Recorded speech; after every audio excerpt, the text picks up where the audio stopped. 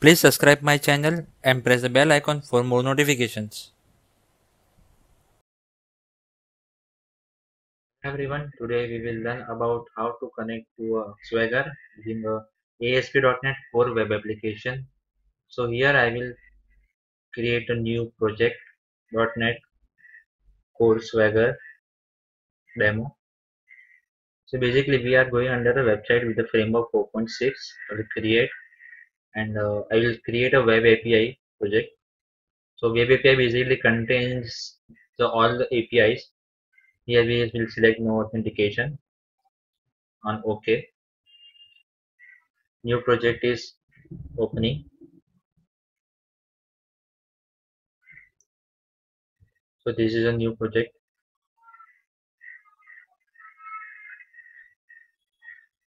Now we will check in solution explorer in check dependencies we have a NuGet and SDK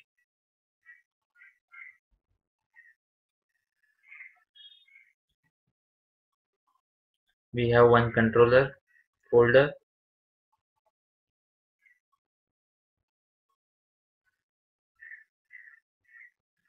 So under the dependencies we can add a references.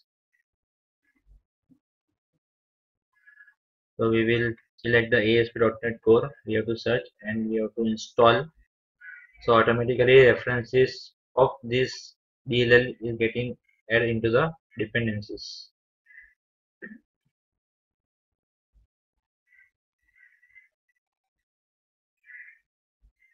Here we can check the status is a success finish without any error. Now inside the NuGet we can see Swashbuckle ASP Netcore version. Now uh, startup is the file where we have to make some changes to run the Swagger. So here we will add services dot add swagger again see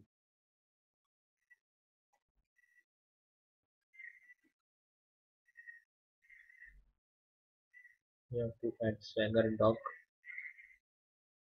is version v1 new info.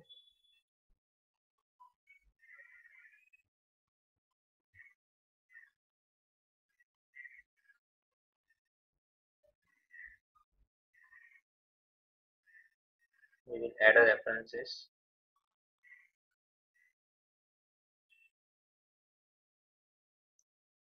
give a title my API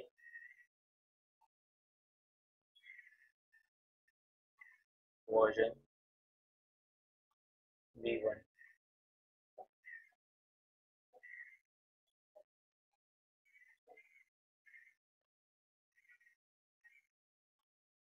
So this is digital title.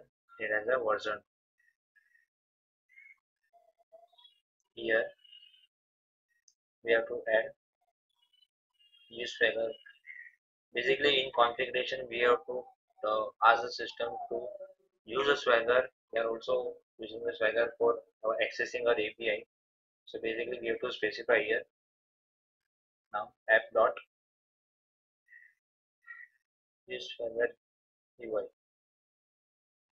we will also use the interface of a swagger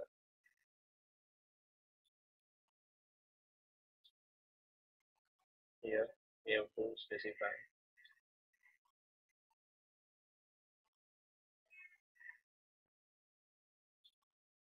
C dot swagger and tool endpoint sorry swagger endpoint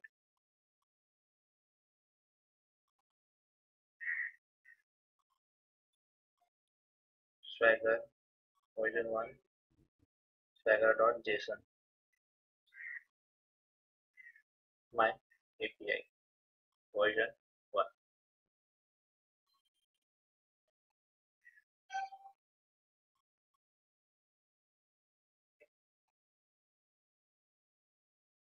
so now we will run the project.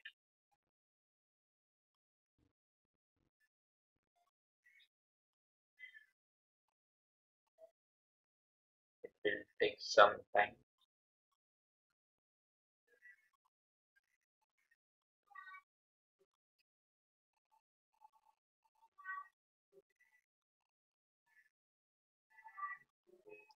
so we have a controller here. We have a get method which returns true value of a string array in a string array. So default it is it has called slash api slash values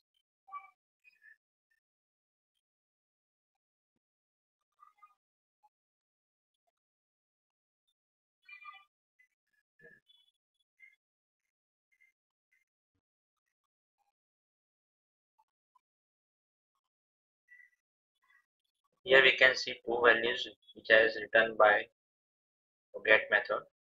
Now same we can achieve using the swagger.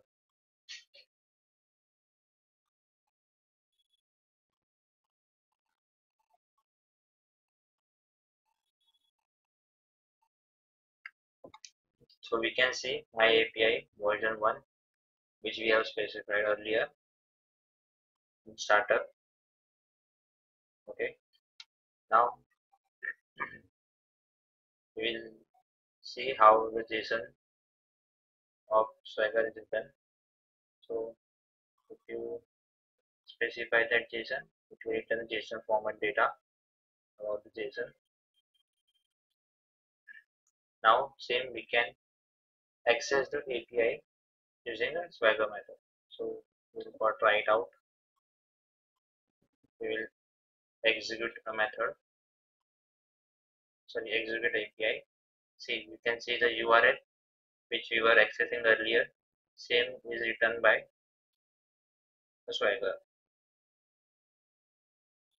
So Swagger is basically helping us to find out more information about the our request and the response. It also returns the header information in one page only. That is why Swagger is very powerful tool using the API. So now we can check. I have downloaded that JSON. We can also download the JSON.